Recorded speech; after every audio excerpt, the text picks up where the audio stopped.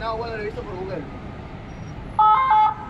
Eh, que nosotros tengamos un grupo y que también toque un grupo del casal.